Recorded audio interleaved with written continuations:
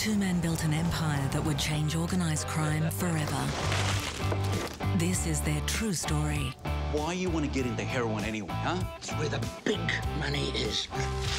Police, Tyler! Relax. You have nothing to feel guilty about. It's not as if anyone's getting hurt.